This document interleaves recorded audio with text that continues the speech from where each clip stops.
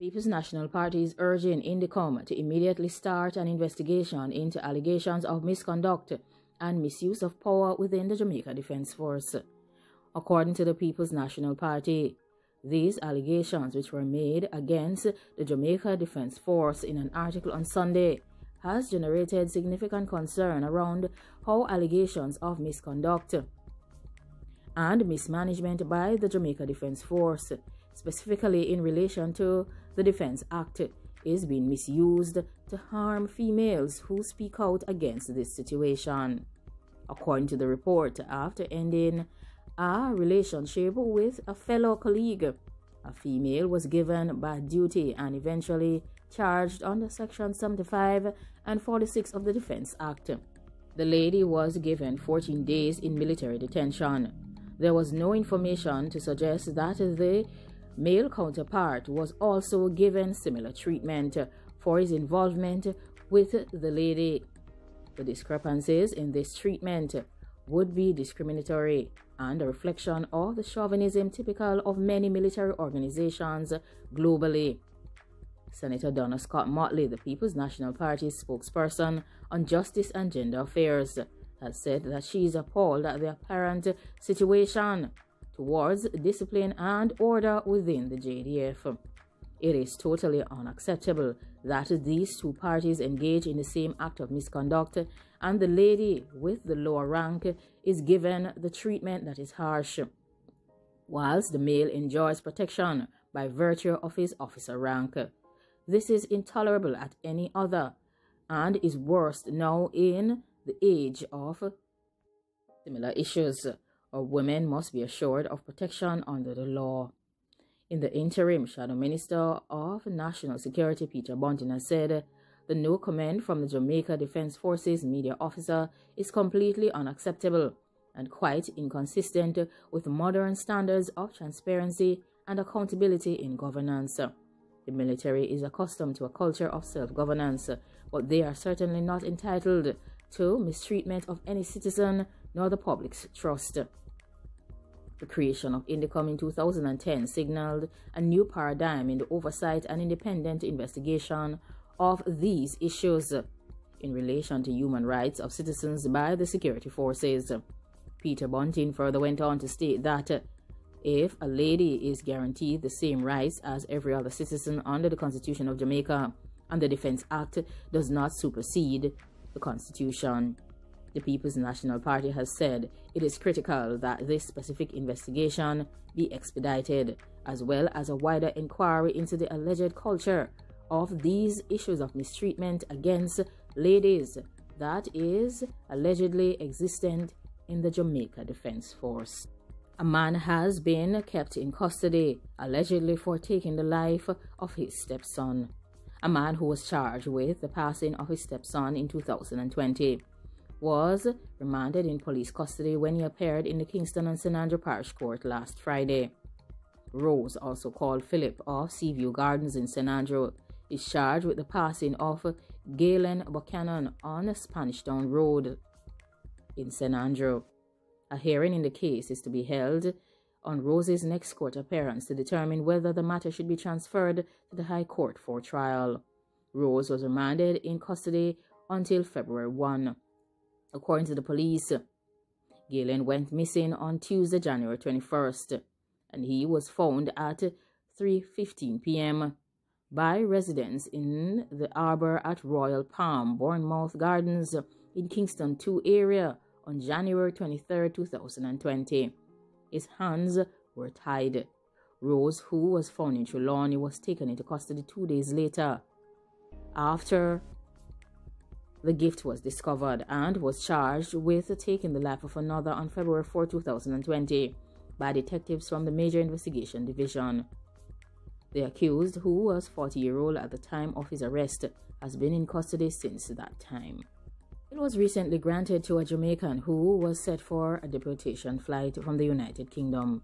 A Jamaican-born man who was being held in detention since the cancellation of his deportation to Jamaica from the United Kingdom has been ordered to be granted bail.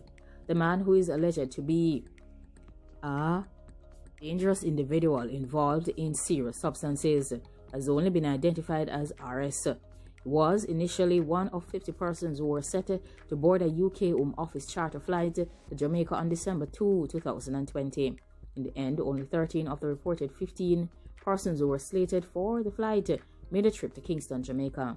This after some of the men, including RS, were granted last minute reprieves by the United Kingdom courts. Since that time, the Jamaican who was previously imprisoned for seven and a half years for dealing in Class A serious substances has remained in custody at an immigration detention center while the Home Office prepares for another deportation flight that will take place early in 2021. The attorneys for this man argued that he was suffering from severe depression and post traumatic stress disorder and should be released from detention. On Wednesday, the UK High Court judge, Coroner QC, ruled that keeping the Jamaican in custody was unlawful. He ordered UK Home Secretary Priti Patel to release RS on bail. Additionally, Judge Coroner ruled that Jamaicans' mental health is very seriously impaired and detention is making it worse for RS. He concluded that the lack of a clear time scale for his deportation means that he should be released, adding that he believes that there is a strong prima facie case that this continued detention is unlawful.